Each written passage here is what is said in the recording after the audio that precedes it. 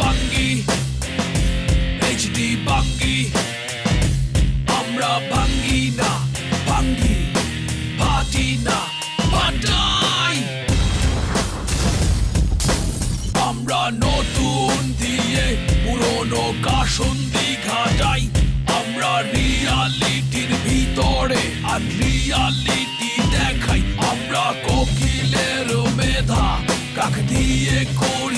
যাচাই আমরা ম্যাগাজিন দেখিয়ে। মেগা ভূত তারাই আমরা যাবতীয় খবর ফিল্টার করে দেখাই। আমরা সুরসুরি দিয়ে কান্না কাটিরে হাসাই। আমরা টক ঝাল, মিষ্টি সুর রেসিপি শেখাই। আমরা নাটকের মুখোশটা খুলে ফেলে দেখাই। আমরা বিদেশি সিরিয়াল দেশি করে খাওয়াই আমরা বাঙ্গি এইচডি বাঙ্গি আমরা বাঙ্গি এইচডি বাঙ্গি।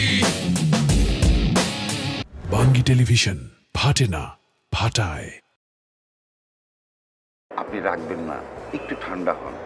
রাখলে তো ক্ষতি হয়ে যেতে পারে আমাদের চাকরিও চলে যেতে পারে। যত মাল্টি ন্যাশনাল কোম্পানি আছে ছোটখাটো বিজ্ঞাপন সংস্থা আছে তারা সব হুমড়ি খেয়ে পড়ছে আমাদের এই বাংলা টেলিভিশনে বিজ্ঞাপন প্রচার করার জন্য।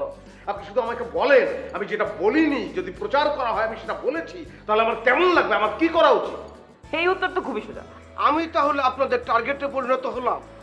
অথচ যে এই হুলুস্থুল ঘটনাটা ঘটালো ঘটনার নায়ক মহানায়ক তার কি কিছু হবে না স্যার? কি হবে না মানে? এনিওয়ে আপনি ভালো থাকবেন আপনাকে অসংখ্য ধন্যবাদ। হুম, আমাদের সঙ্গে থাকবেন। Bye hello? কোলে হলো। আমি বলে স্মার্ট না। হ্যাঁ। আমার কণ্ঠ নাকি তার খালুজানের কণ্ঠের মতো।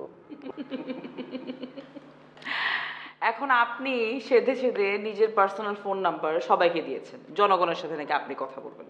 তো এই কাজ যদি আপনি করেন এমন তো ঘটবেই। আজকে খালুজান বলেছে কালকে দাদাজান বলবে দুলাভাই বলবে ভাইরা ভাই বলবে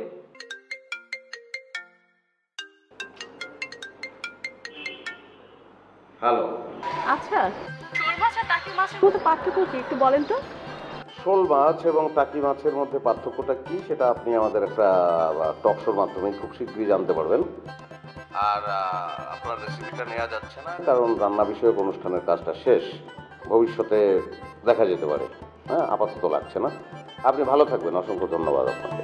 বাই হ্যালো আপনি প্লিজ দয়া করে ফোনটা আধা ঘণ্টার জন্য বন্ধ করে রাখেন নাহলে আপনি বসতে পারবেন না। তথাস্তু। শোল মাছ আর টাকি মাছ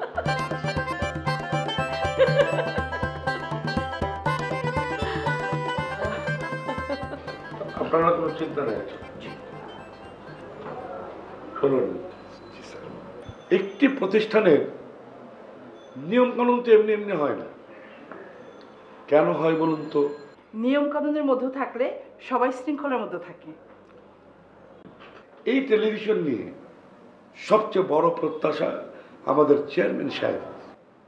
আর এই প্রত্যাশা পূরণের জন্য তিনি সেরা দুইজন ক্রিয়েটিভ ডিরেক্টরকে পার্টনার হিসাবে নিয়েছেন। এই প্রতিষ্ঠানের অর্গানোগ্রামের নিয়মকানুন তো আছে এর বাইরে আরও শৃঙ্খলা রক্ষার্থে যা যা করণীয় সব কিছুই ওদেরকে ক্লিয়ার করে দেওয়া হয়েছে।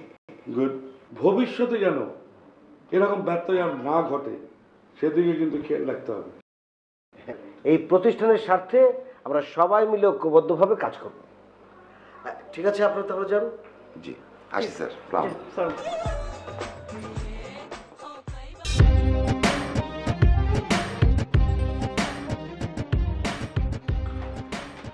সারা দেশ উত্তেজনায় কাঁপছে। বাঙ্গি টেলিভিশন আসছে আর এই উত্তেজনা সৃষ্টির পিছনে সমস্ত অবদান নো নো আমরা সহযাত্রী মাত্র। আপনি উদ্যোক্তা। আপনি সব কিছু করেছেন। অনেক শিল্পপতি আছে দেশে, কিন্তু এরকম একটি নান্দনিক সিদ্ধান্ত নেবে তেমন শিল্পপতি কোথায়? সবার মধ্যে এই বোধ তো নেই। একটা হাসির টেলিভিশন হবে।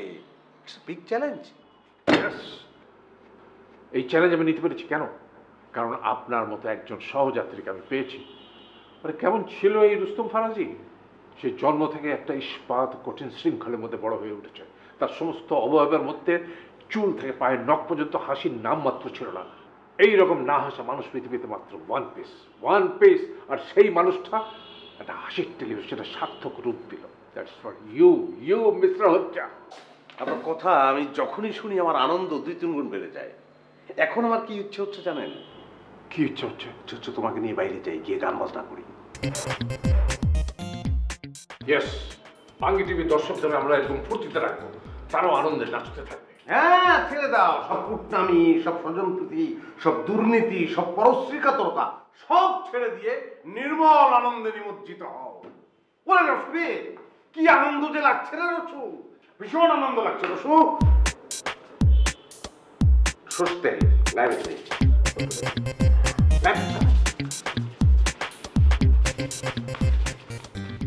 আমরা এখন কালীগঙ্গায় ঝাঁপতে পড়ে বাবা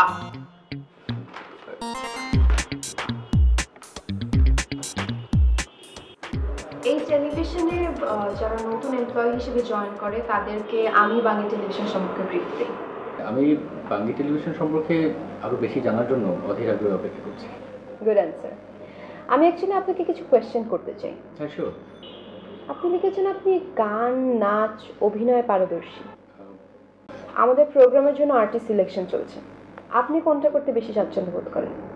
নাচ আর অভিনয় দুটাতে বেশি কমফোর্টেবল ওকে আপনি যদি আর্টিস্ট হিসেবে সিলেক্ট হন তাহলে কিন্তু হজ্জা স্যারের সামনে আপনার পারফর্ম করতে হবে। এর আগে আমি আপনার পারফরমেন্সটা একটু দেখে নেব। এখন? জি। পারফরমেন্স করতে আসলে আমার কোনো আপত্তি নেই কিন্তু মানে পারফরমেন্স করার জন্য তো একটা পরিবেশ আর একটু জায়গারও প্রয়োজন এখানে তো কোনোটাই দেখছি না। বাট এটা আমাদের সাবস্টেশন এখানে আমাদের স্টুডিও নেই। আর আপনি যদি এখানে এমপ্লয়ি হিসেবে জয়েন করেন তাহলে আপনার জানতে হবে আপনি যে কোনো সময়ে যে কোনো চ্যালেঞ্জ আপনার নিতে হবে। এটাই হচ্ছে স্যারের নির্দেশ। ওকে বাংলা টেলিভিশনের জন্য আমি যে কোনো চ্যালেঞ্জ নিতে প্রস্তুত। আর এই টিভির ট্যাগলাইনটি কিন্তু আমার খুব পছন্দ হয়েছে। বাংলা টিভি ফাটে না ফাটায়! তাহলে আপনিও ফাটান। নাচ করি?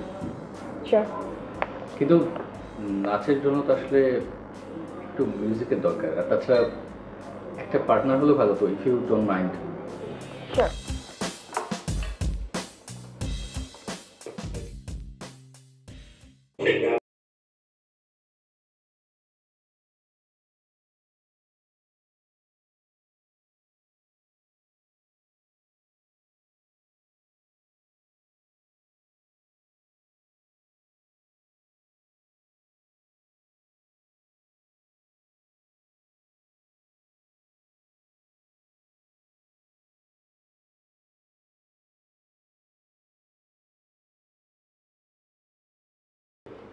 actually আমি আপনার কনফিডেন্স লেভেলটা দেখছিলাম।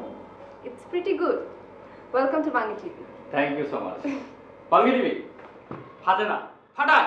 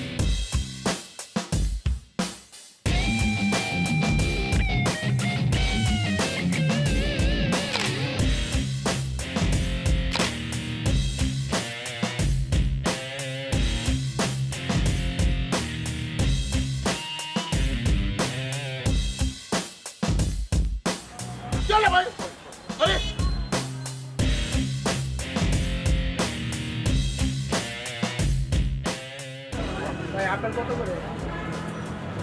আপেল একশো ষাট। মালটা? মালটা একশো চল্লিশ। চল্লিশ। এই আঙ্গুর কত করে? মালটাটা একটু এক কেজি দেন আঙ্গুর চারশো টাকা ভাইয়া। চারশো টাকা? আঙ্গুর তাই। তিনশো আশি টাকা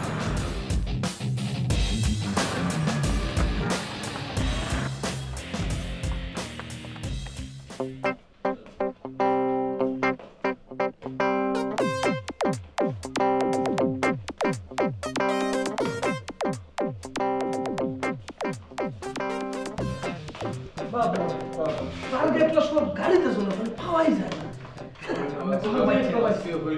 আমরা আজকে এখানে যারা আইছি সবাই বলতে পারেন এক প্রকার নারী চরিত্র। জি বস। কেন বস? এই যে বললাম যে সবাই নারী।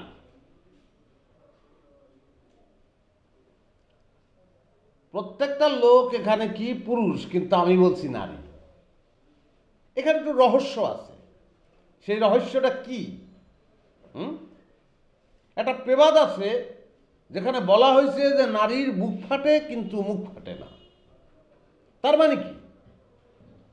নারীর মনের মধ্যে অনেক কথা, অনেক বেদনা, অনেক যাতনা, অনেক চাওয়া, অনেক পাওয়া, কিন্তু সে মুখ ফুটে বলতেও পারে না। আমাদের অবস্থাও সেম আমাদের মনের মধ্যে অনেক কথা। অনেক চাওয়া কিন্তু আমরা মুখ ফুটে বলতে পারি না। কারণ কি? আমাদের পেশা। যেই পেশায় আমরা যুক্ত আছি এই পেশার কথা পকেট মারি এই কথা আমরা পৃথিবীর কাউরে বলতে পারব না নিজের স্ত্রীরও বলতে পারব না। ঠিক ঠিক। ঠিক ভুলেও ঘরের স্ত্রীর কাছে বলবেন না। মানুষের মারার দরকার নাই বউ পিঠেই আপনারা মাটিয়া লাগবে খেলাই যেটাই এখন এখন কেন আসলাম এই পেশায়? পকেট পাই হয়ে তো জন্মগ্রহণ করি নাই, করছি? করি নাই। হুম? মায়ের পেটের তোম পড়বেই পকেট মাই রই নাই। একটা ভালো ছেলে ছিলাম, পড়াশোনাও কিছু দূর করছি। একটা চাকরি লাগবে। বাপের টাকা পয়সা নাই, জমি আসলে বেচে দিছে। সেই টাকা লইয়ে ঢাকা শহরে আসছি, কারণ ঘুষ দিতে হইবে। ঘুষ দিয়ে চাকরি নেব বাসে উঠছি। যাইতে আছি বাসের তো নামছি, দেখি পকেটে টাকা নাই। টাকা পকেট মেরে সাইজ করে হেলাইছে। আমার এক ভূতপূর্ব ওস্তাদ এই কাজটা করছে, সেই ওস্তাদকে আমি কোনোদিন দেই নাই। আশা পোষণ করতে আছি, ভবিষ্যতে কোনো একদিন তারা দেখব। তার মুখটা একটু দেখতে চাই, কারণ এই ওস্তাদ আমার জীবনের মোড্ডারে ঘুরে দিছে মনের মধ্যে এত জিদ হয়েছে এত রাগ হয়েছে এত গোসা হয়েছে মনে হয়েছে পৃথিবীর যত মানুষ আছে, কারও পকেটে টাকা রাখতে দিমু না। কারও পকেটে টাকা থাকবে না, সব টাকা আমার পকেটে আইবে এই নিয়ত করিয়া আটতে শুরু করলাম। আটতে আসি। যারে পাবো তার পকেটেই মারবো। একটা লোকরে পাইছি, গজালের মধ্যেও তার পকেটের মধ্যে আত হান্দাই দিছি। আত হান্দাই দিছি আর বিবেক জাগ্রত হয়ে গেছে। আমার বিবেক আমারে বলতেছে এবারটা করো কি? ওই লোকটাও ঘুরিয়ে কয় এবারটা করো কি? আমি কইলে পকেট মারি। কে পকেট মারস? তোর পকেট? আমি বললাম, না, নিজের পকেট মারবো কেমন? তাহলে আপনার পকেট হোক ভাই, ভুল হয়ে গেছে, মাফ করে দেন ভাই, আর কোনোদিন করব না। কে ডাকার কথা হনে বানানি শুরু করিয়ে দিল, সে একলা না আরও লোকজন ছিল, জানেনই তো কীভাবে মারে। মারিয়ে ফ্ল্যাট বানাই হেলাইছে রাস্তার মধ্যে আলাই দিয়ে গেছে। কোনো এক লোক দয়া করিয়া একটা হসপিটালে লই গেছিল। ওখানে চিকিৎসা হয়েছে নার্সের আদরিয়া একটা প্রতিজ্ঞা করছি, আবারও। যে পৃথিবীতে কারও পকেটে টাকা রাখতে দিব না। সব টাকা আমার পকেটে আইবে। এই হয়ে গেলাম পকেট ম্যান এই আমার হিস্টোরি ভাইয়া সরি ওস্তাদ আই বলি উমনি আর কাহিনী। অবশ্যই বলবা বলবা না কিনলে গিয়া আমাদের আর কোনো বন্ধু আছে? হ্যাঁ আমরাই তো আমাকে বন্ধু। বাইরের একটা লোককে আমাকে বন্ধু হইতে পারবে? যদিও হয় এই বাইরের লোকের লোকে আটনের সময় তো অভ্যাস বসত তার পকেটটা মারিয়ে দেবো। হুম? হইবে না। সুতরাং নাও বলো বলো বলো বলো বলো।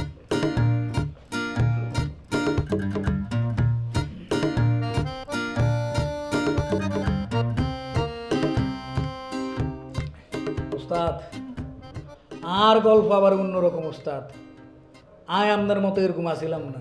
আই ছোটোবেলার থেকে খুব বালা আসিলাম। এলাকার লোকজন, গ্রামের লোকজন ছোটোতে বড়, বেগুন আরে পছন্দ করত। আরে সবাই আলামিন বলে ডাকত। যখন আমি আস্তে আস্তে বড় হয়ে গেছি উস্তাদ। ঘুরাঘুরি করি, হড়ালেয়া করলাম না, ঘুরাঘুরি করতেছে, কোনো কাম করি না। তখন আর বাপে বললে রে, তুই এরকম ঘুরাঘুরি করলে কি চলবো? কাম করতে হইতো না? এভাবে কি চল বলি তখন আয় কি করিউম আয় বলছি, আব্বা, আয় আর কি ইতাম আয় তো চাকরি হইতাম না, বাকরি হইতাম না, ব্যবসা বাণিজ্য করিউম টিয়া আইম কোনায়? হরে আর আব্বা করছে কি, আঙ্গবাড়ির হিসেব তাই দশ ঘণ্টা জমিয়াছিল এই দশ ঘণ্টা বেশি দিছে। বেশি, আল্লাহ বড় একখান দোয়ান ঠিক করছে মোদি দোয়ান। দুই তিন মাস আর দোয়ান এত বালা চলতেছিল। আর মনের বাবুরে, আয় জীবনও আর সৌদি আরব যাইতাম না। এই দেশে আয় হুসা কামাইম বড় লোক হইম আয় একদিন খেয়াল করি দে কিরে ধীরে ধীরে তো আর দোয়ান খালি হয়ে যাইতেছে দোয়ানের মাল কেল হয়ে যাইতেছে? দেখ মানুষ আইয়ে চা খায় সিগারেট খায় টিয়া না দিয়ে চলে যায়। আই কিও? ভাই আর টিয়া দিতেন না আপনারা? হেতারা বলে হাল খাতার দিন আই দিউম খাতার ভিতরে লেখি রাখো। আই কত লিখতাম বাবুরে লিখতে লিখতে আর কলমের কালি শেষ হয়ে গেছে কিন্তু হেতারা আর টিয়া দেয় না। দোকানে বাকি দেওয়া বড় কষ্ট বাকিতে বন্ধুত্ব নষ্ট এরকম কোনো লেখা লাগাও নাই? ওস্তাদ দোয়ানের হিসে আই একখান সাইনবোর্ড ঝুলাইছি সাইনবোর্ডে লিখছি বাকি দেওয়া বড় কষ্ট বাকিতে বন্ধুত্ব নষ্ট। কত হয়েছে একশো বিশ। আচ্ছা কালকে দিন আরে কারণ কি এর কালিয়া দিবেন? আপনার আগের বাকি টিয়া দিছেন নি আপনি আচ্ছা আমি কালকে দি দুমু আপনি লেখি রাখেন। না না না ওই তো না কি লে আছে? আর বড় ভাইয়া লিখে দিছে বাকি আরে লেখা আছে বুঝছি তো দিমু কালকে। আরে বাকি দাও নিষেধ আর ভাইয়া আরে মাগরো আচ্ছা ঠিক আছে ব্যাগ বুঝছি কালকে দিমু আপনার বাড়ির লোক আর কত হয়েছে এত লোক তোর লাভের কথা কমু কালকে দিমু। দিমু কালকে। না না না ওই তো না আরে ভাই কালকে দিমু তো কি বাবুরে আমনে আমনে আর কথা শুনে না আর আব্বা নিষেধ করছে আর আচ্ছা আপনার আবার নিষেধ করছে বিয়ে লাইছেন একখান জিনিস এটা হলো বারা কালকে দিমু কইছি তুমি কালকে দিমু। জবান দেন ঠিক থাক। আচ্ছা থাকব। টিয়া দেনার কোনো খবর নাই বাকি নিতে থাক। মানে কি শুরু করল? কিন্তু কি করিস তুই? ভাইয়া ওই মামুন্না হাঁস কেজি আলু নিছে সেটা লিখতেছিলাম। মামুন্যারে কাইলে বাকি দিছ তুই আর আগের দিন দিছ মামুন্যারে কইছে না বাকি দিবেলাই তোরে। ভাইয়া আমনে কইছেন আই হাতেরে বুঝাই তোরে কইছি কবার ঠিক যা দোনা একটি বাকি কইতো না তোরা লেখি জন্ত দিছি যে বাকি না বেশি বেলা তুই কিলে বেছ ভাই আই হাতেরে বুঝাই বলছি যে বাকি দেওয়া নিষেধ আর ভাই লেখি জন্ত দিছি তুই জন বাকি না বেছ। ভাই আই হাতেরে কইছি তো এত কইছে কবার কইছি তোর মামুন্যারে না তোর মামুন্যা বাফাই কের বাকি দিতে তিন ভাইয়া আই হাতেরে বুঝাই কইছি কিন্তু হাতে তোরা একশো বার কইছি যে আ দোনা একটিও বাই বেচতে তিন ভাইয়া আই হাতেরে তোর বাইরে তুই আদো আনতু বাইরে তুই বাইরে তুই আদো আনতু বাইরে তুই তুই বাইরে বাইরে তুই বাইরে আমরা বাঙ্গি এইচডি বাঙ্গি আমরা ভাঙ্গি না তার হাতটা দিয়ে খেয়াল করলাম আমি আমারও তো দুটো হাত আছে দুটো হাত দিয়ে কী করা যায়? কী করা যায় কী করা যায়? চিন্তা করতেছি চিন্তা করতেছি। এই যে দুটো আঙ্গুল এটা দিয়ে কিছু একটা আর এই যে আনলাম দিলাম আনলাম দিলাম এটা তো শিল্প। ওই জায়গা থেকে চিন্তা করলাম না এইটাই আমার ডিউটি এটাই আমার কাজ এইটাই আমি করব। কারণ এটা একটা স্বাধীন পেশা মুক্ত পেশা এটা একটা সাহসী পেশা। এইটা আমার করতে হবে এটা সবাই করে না। আর এই পেশাটা কিন্তু কোনো স্বীকৃত পেশা না ঠিক আছে? বুঝছেন ভাই মদনদুরি সাকসেস ভাই কর করে তেরোশো টাকা পাইলাম বুঝছেন? শুনছিল যাক ভাই শুনে কথা কথা তো ছিলি ভাই পারবে পেলাম না। বলো বলো বলো।